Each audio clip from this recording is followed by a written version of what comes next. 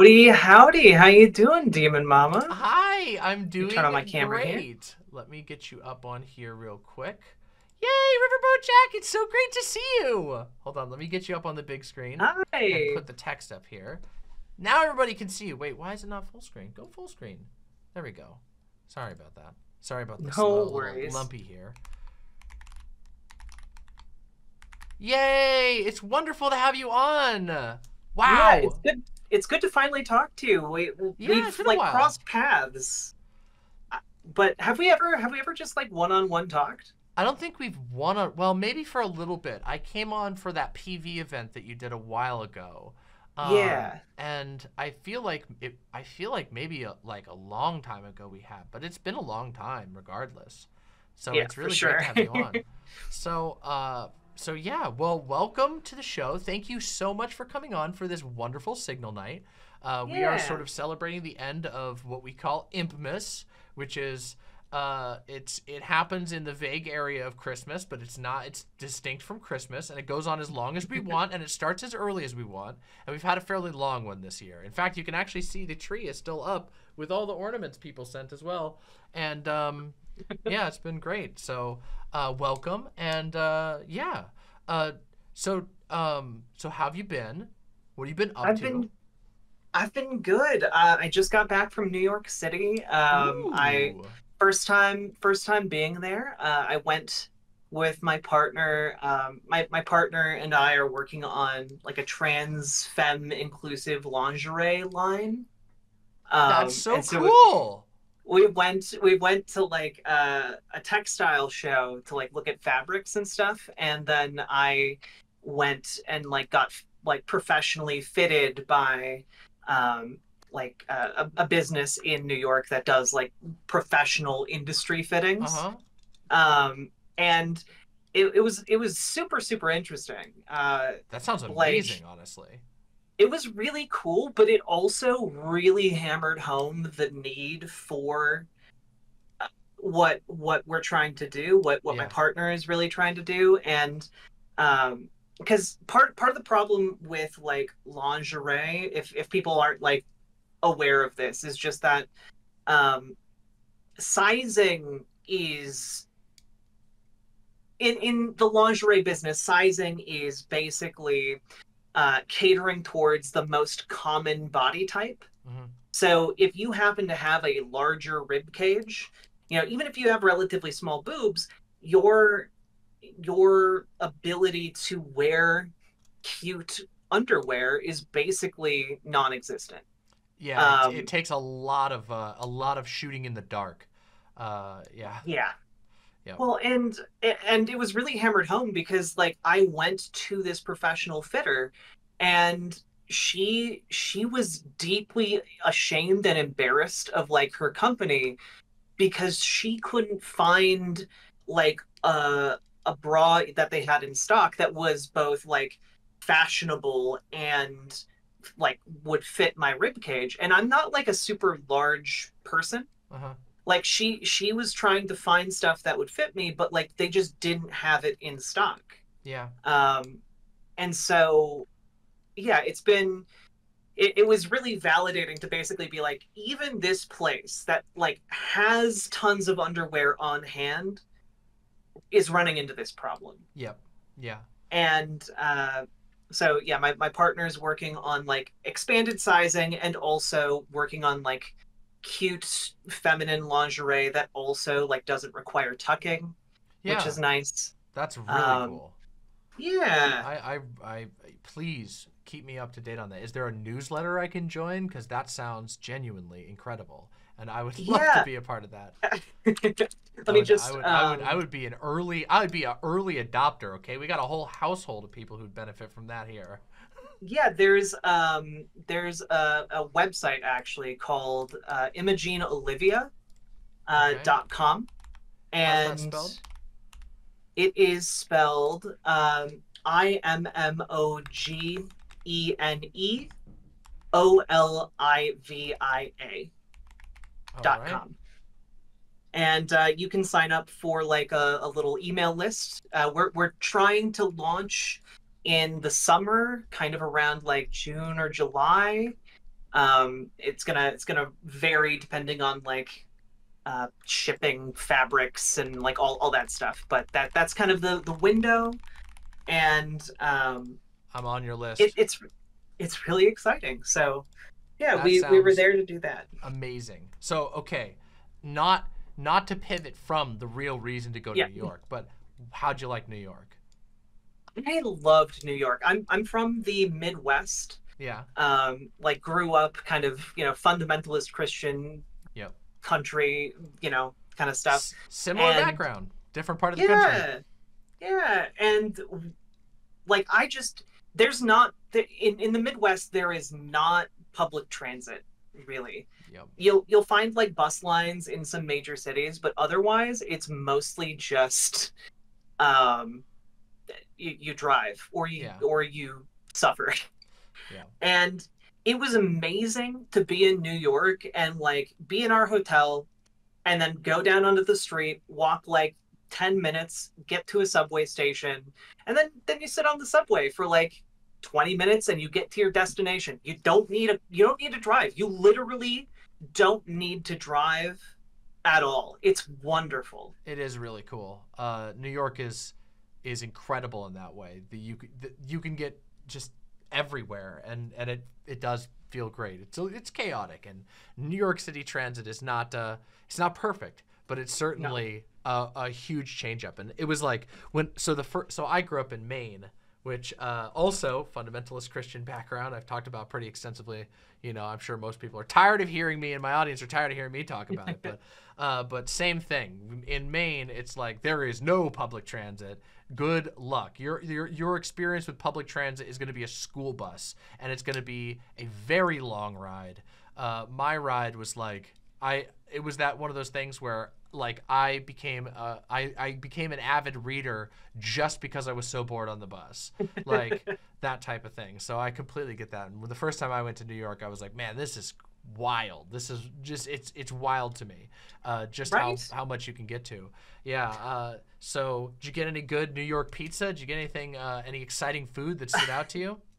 Um, so I did get a pizza in New York, but I've been uh, informed vigorously that it is not like you know to have authentic New York pizza, you need to be grabbing like a slice and then like walking somewhere. Yeah. Um, True. And so I we we did go to like the first pizzeria in the United States, a place called Ooh, okay. Lombardi's, Cool. and uh, it was um, uh, they they you know I think they needed to to perfect some pizza uh, after they got here. Um, and uh, that being said, um, the food that really stood out, uh, there was uh, a restaurant in Brooklyn called um, Hobra, Uh-huh. which was like a Mexican Californian fusion restaurant okay. Cool. that was really really good. Um, ten out of ten. Would eat there again. We also went to apparently, and this is this is something I guess only real New Yorkers know about, but uh, we went to a place called Roll-N-Roaster Hmm. um, that is basically like a slightly more upscale Arby's that opened in the 1970s and then just never changed Wow. and has continually run the same advertisements on like local New York television for like 50 years. That sounds So uh, awesome. it was it was pretty great. Like a real roast beef sandwich. Uh, it was it was amazing, and I do have to say I've been converted to bagels. Uh, I Oh. didn't really understand that bagels could be f- like a meal. Yes, And and, and magical. Uh, in New York City is the place to get the greatest bagels in the world. It is truly uh, a magical experience. And uh, yeah, I was gonna ask about bagels if you got any good ones there, because Yeah. uh, you can't. I don't know if you can beat New York City in the bagel department. I mean, there's literally bagel Yeah. food trucks. It's crazy. They're everywhere, and went- it's amazing. we- We went to a place called Bagel Boy, and like it, it was it was just incredible. You know, like had had like stereotypical like like guy with like a bagel head on it. Like it, it was great. That's it was incredible. great. It was great. Yeah, like a good bagel has a lot of flavor. When you if Oh, you've yeah. spent your if you spent most of your life eating those fucking garbage Thomas fucking bagels from the grocery store, those things are trash, okay? I literally Yep. don't eat them anymore. And it's just like first of all, your your fucking local uh uh, uh you know Safeway or whatever whatever your local chain is the bakery is going to make a better bagel in the first place but secondly like even that is not a real bagel a real bagel they have a, a lot of flavor and it adds a lot to whatever you're eating with it so yeah. Yeah. I'm glad you got to have the good bagels uh, I spent a lot of time in in New York City when I was in college because I went to college in upstate New York and cool. um, my partner was from New York City, from Brooklyn. And uh, so I spent a lot of time in New York City, and uh, I'm always excited to hear people's experiences going to New York City, especially if it's their first time going. Because my first time in New York City was a wild experience. I was Oh, yeah. completely overwhelmed. I was like not, I I was not prepared for the magnitude of the city. Like you can hear about it, but then once you experience it, it it's it's it's it's un, unimaginably packed and unimaginably large. It is a truly wild place, and uh, the food's out of control. So, Oh, for sure. um, yeah. Well, I- I'm, I- I'm- go ahead, Oh. please. I was gonna say now I've been to both LA and New York, and I, I feel like they're both sprawling cities, but in very different ways. Like oh yeah, LA just goes forever, Yep. whereas like New York just builds up. Like it was way more vertical than I was expecting. You know, o- oddly enough. it's dense as uh, hell. Yeah, Yeah, yeah. and it goes down too. There's the, there's so it's kind of creepy when you think about it. Like how many layers? There's like tunnels. There's decommissioned train uh, like subway tunnels that are on top, or like the current ones are on top of other ones from the past. There's Yeah. like ca- basically like catacombs under the city of uh, no longer used, you know, subway things. It's wild to think about. It's a, it, it is an incredible city. I've also uh, been. Listen, I'm just gonna. This, this is gonna attract some ire from the uh, Los Angelites, but uh, sorry, Los Angeles got has got fucking nothing on New York, and uh, I know that's gonna make a lot of people mad, but uh, It's it's also just a lot harder to get around Los Angeles. yeah, like, for sure. Yeah, the, Takes the forever. transit's just better in New York. the the fact that the like highway, the I five, I think it is going through the center of uh, of Los Angeles is like brutal. Uh, Mhm. Yeah. Like Oh, the yep, other there they go. There it goes. Oh wait, never mind. All the LA people are saying LA sucks. I'm from LA. It fucking sucks here. nah. yeah, the But, um, the uh, I, I I- agree with you though. Like it, it is it can be a very overwhelming city to go to. Mhm. Like um, I, like I'm I'm I'm a bit on the spectrum, and I walked through Times Square with my partner, and that is the worst place on earth.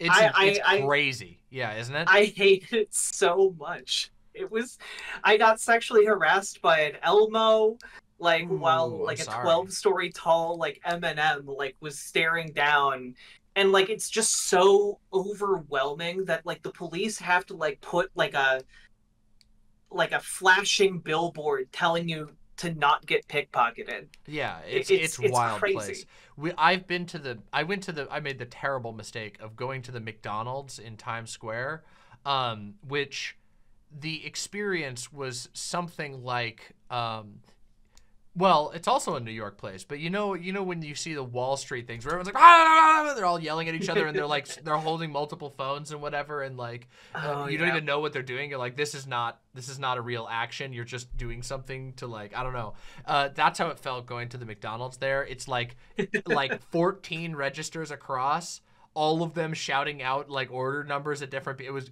absurd man. and terrible. Although I will say I had one good experience uh, that was next to Times Square, and I had to cross through Times Square in order to make it happen, which was uh, by literal pure chance. I got to meet.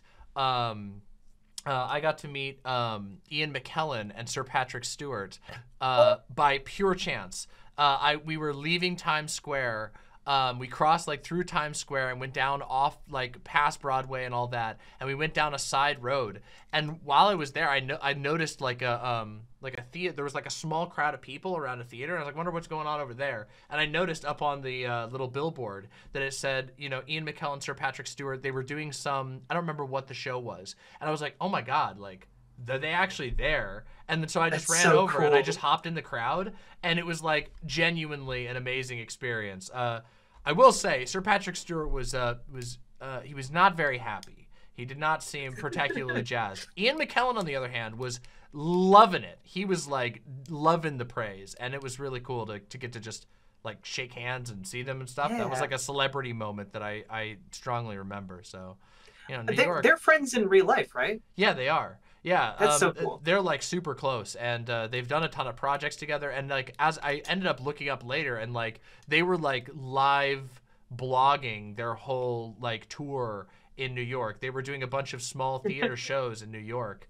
and I just didn't know. It just by pure chance happened to work out that way. Complete roll of roll of the dice, which was wild.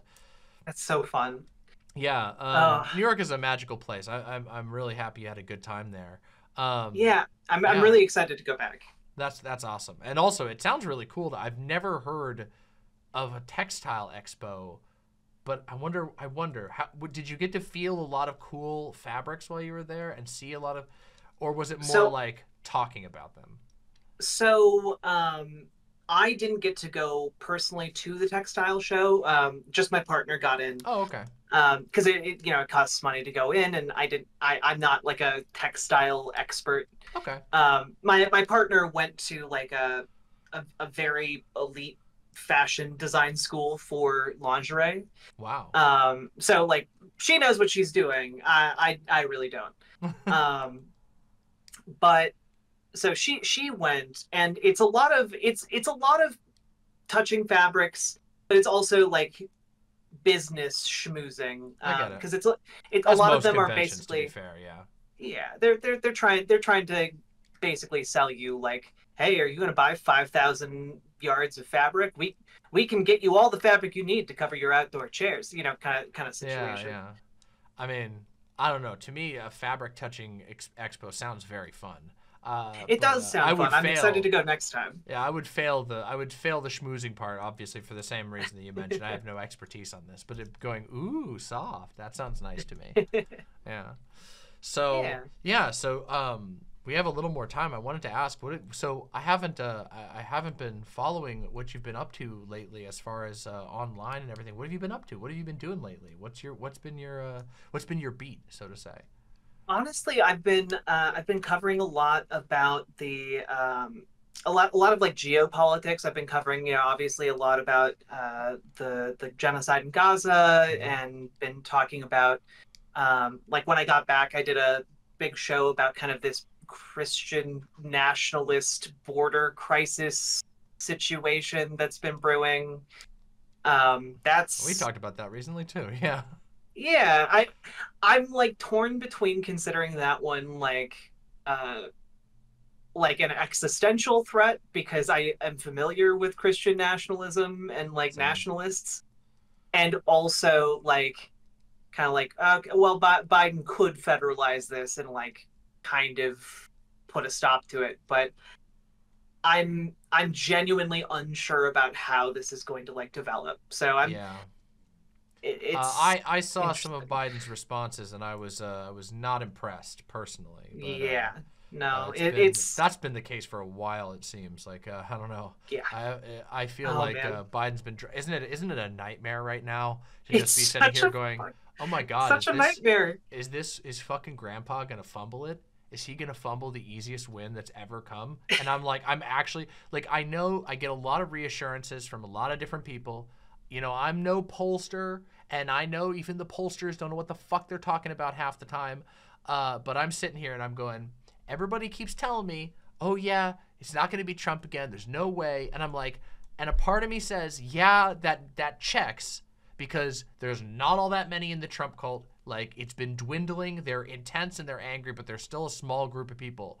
But I'm like watching the fumble and I'm watching the hardest fumble and I'm going is it possible that he fumbles so hard that we lose to the fucking dwindling Trump cult? And there's a small part of me that goes, "Oh my god, uh, we need like run," you know, like there's that Yeah. part where I'm like, "Oh shit," and uh, I really hope not. But I've been, uh, I've been, sh- I've been shockingly unimpressed with uh, Biden's recent uh, decisions. And of course, then you have like Pelosi today. I don't know if you saw that Pelosi going on and being like, we should have the FBI looking into these, uh, you know, looking into the fact that Russia is is you know Oh, is yes. funding Gaza, you know, people in support of Gaza. I'm like, oh, get this. It- it- yeah, no, it's cooked. it's We're literally it, it's literally more imaginable to like the democratic establishment that like I, I, foreign powers are funding like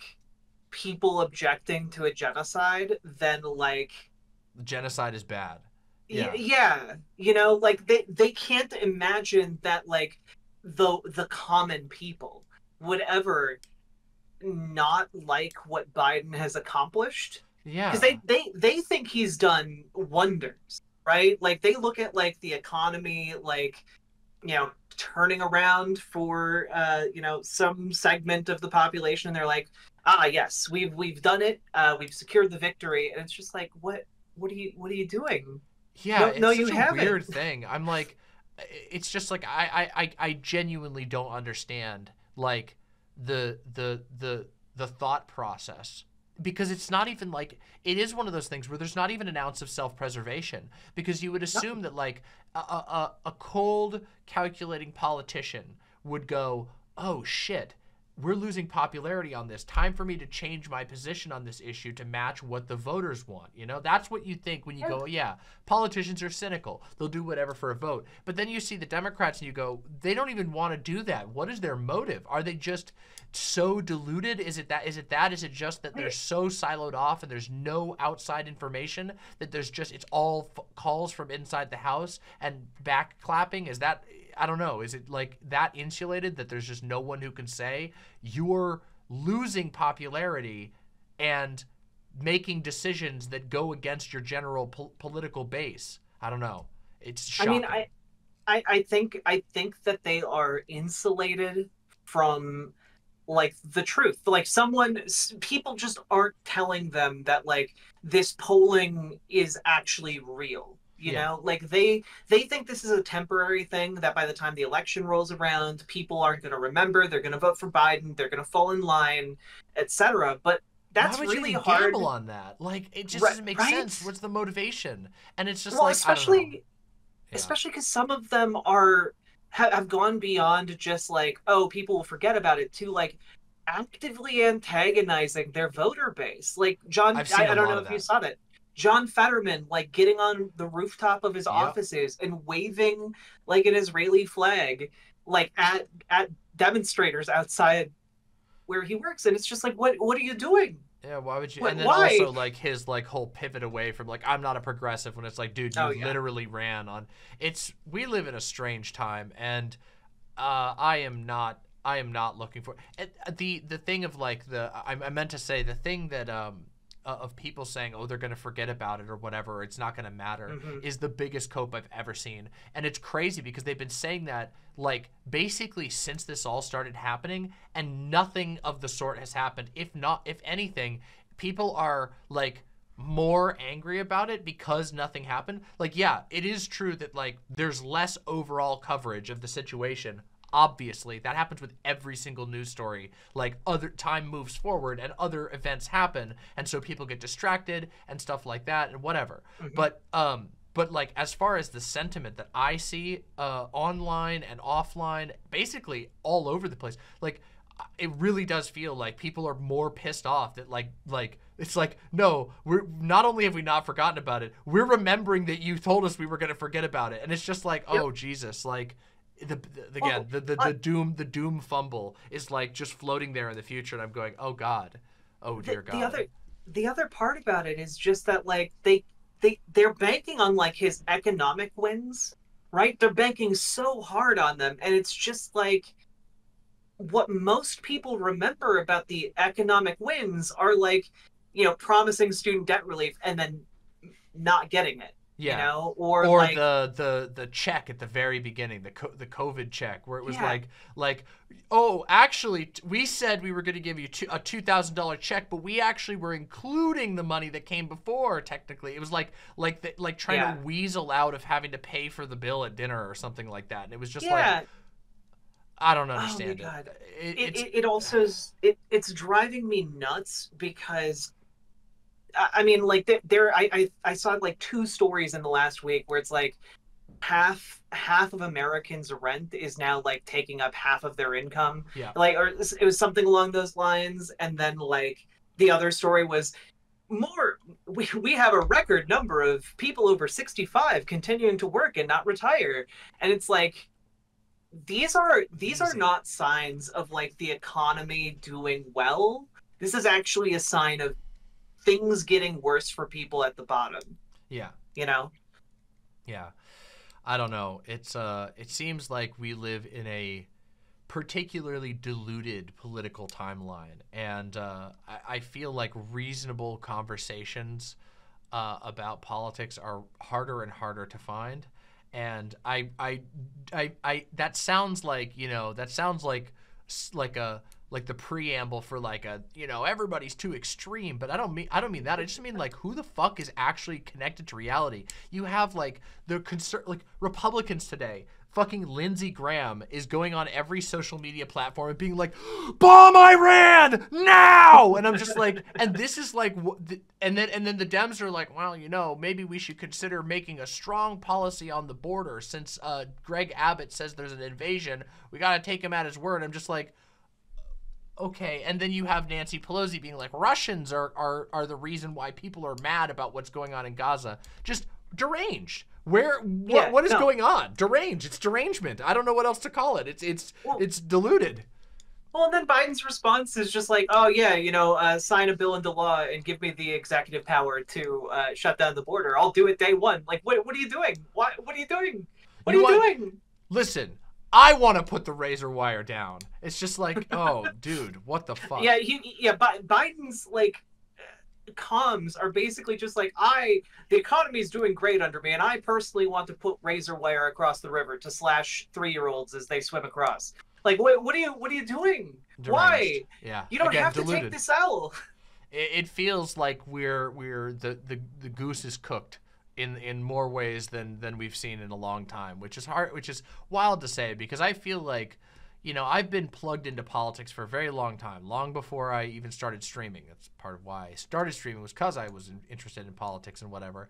And i'm like man it's just been it's been getting less and less possible to make sense of literally anything. And i just feel like uh yeah i don't know the, the republicans especially i you know the dems are really fucking bad and i, I don't want to give the idea that like you know Yeah, no. the, the the dems are like just as bad as the republicans because again like i said the, you know lindsey lindsey graham on on uh, on twitter fucking screaming about bombing iran is just like that's normal for the republican party right now they're Mhm. screaming about uh, about things that do not and should not exist. They they've got they've they've created a total reality warping vortex, and I just I don't know. I'm like, I- part of it reminds me of just like I don't know, like contending with the fact that we've always had to contend with like extreme religiosity and stuff like that, where people work themselves by one means or another into like an, a worldview that is totally incompatible with anyone that doesn't agree with their worldview.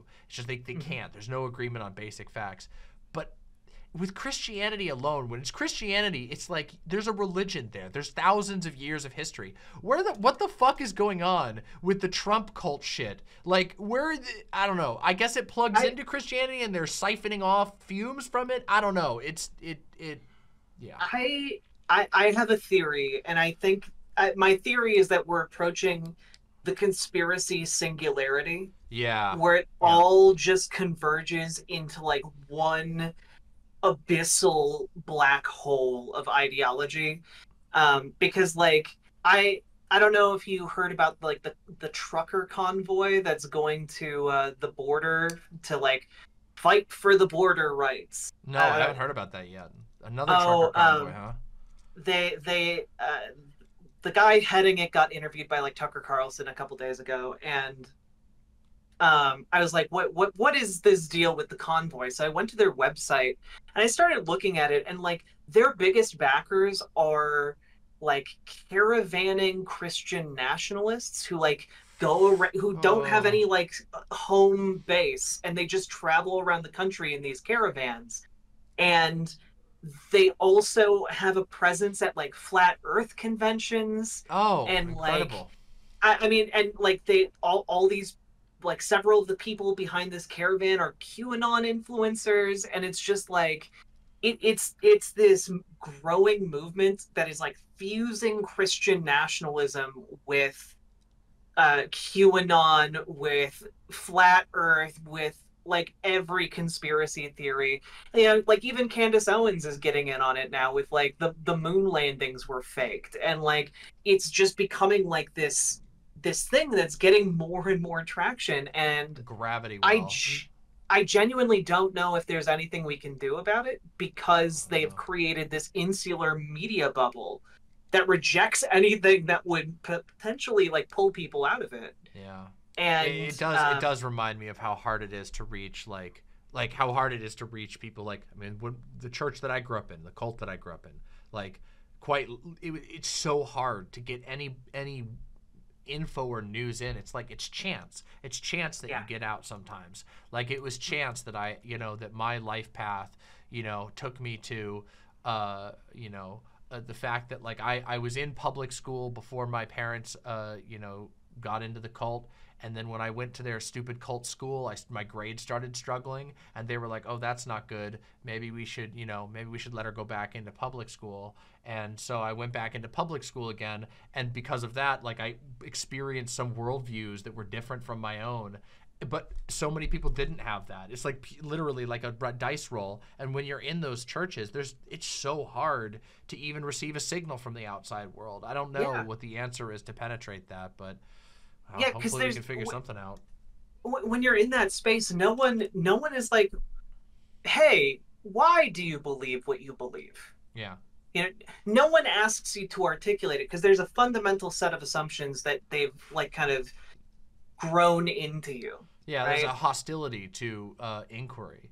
Um, Mhm. There's a hostility to doubt. That like doubt is in and of itself like a sign that you're an enemy. It's it's it's incredibly popular and not just in con- conspiracy spaces, but obviously in fundamentalist space as well, as I'm sure you know. But oh yeah Yeah. yeah yeah i, I was actually a, a bible camp counselor for for two oh years oh So, like like uh, a VBS type thing, vacation Bible Yeah. school type thing. Yeah, me too. I did that as well. It seems like it's the yeah that's like the uh, the fundamentalists like favorite uh, you know favorite favorite thing to to send send kids to go do. yeah Um, are, are you yeah.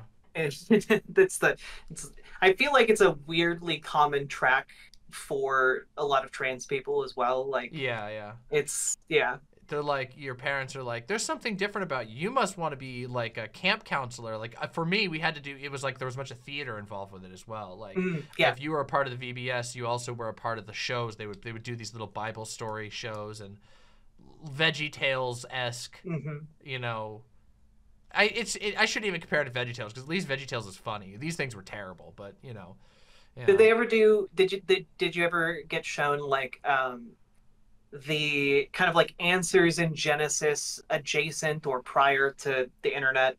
Um, like it's impossible for evolution to be real because the Oh, eye- eyeballs hundred exist. percent. Yeah. Yeah, Like, oh, yeah. in fact, when I went when I, for the year that I was in their Christian uh, middle school um, program, that was like they had they had a science thing that was entirely built off of creationist only science Oh, books, no. and there was a huge part of that. And it was like, and of course, uh, uh, I've told this story before, but the sort of infamous um, uh, Kent Hovind. Do you know who he Mm. is? Yeah, Yeah. yeah, Kent Hovind. I, I I met him and had a one-on-one uh, counseling session with him uh, at one point, which was very weird. And Oh my uh, God. yeah, he was a weird guy, and uh, yeah, but he came to our church multiple times, and now he's in prison. So I don't think he's out yet. So probably won't be out for a while. But yeah, he went to prison, so that was fun. But uh, everyone in chat, Kent Hovind dodged the IRS and beats his wife. Yeah, yeah, exactly. That guy. Yeah, he's a weird guy.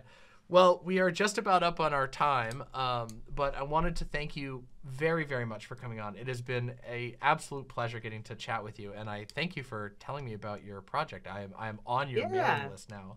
Um, Anytime, and and likewise, I, I I love talking with you. I extend the invitation. You're welcome on anytime on my my awesome. stream. Yeah, let me know if you're ever doing any events or anything or whatever. If you just want to chat about something, I'd be totally down. Um, do. and if you could real quick just shout yourself out to the chat, that would be incredible. Yeah. Uh, hello, everybody. My name's Riverboat Jack. I talk about news, politics, um, and uh, I, I'm, I'm a socialist uh, and and calm at heart. But Based. um, uh, and uh, I, I talk about the need for workers to control their own workplaces and how we can actually make that happen, and also do do like current events. So if any of that sounds interesting, come on over. And sometimes I also talk about video games and movies and stuff because I, I used to be a video game journalist. So uh, all so that awesome. stuff, I didn't know that. cool and wonderful. Come, come on over. Please, please go check out Riverboat Jack. And thank you so much for coming on. Uh, Thank you for would having love me. to speak with you again in the future. Absolutely. Bye for now. Bye. Yay! What a what an excellent what an excellent conversation. Man, today's been off to a absolutely wonderful start. That was so cool. That was so chill.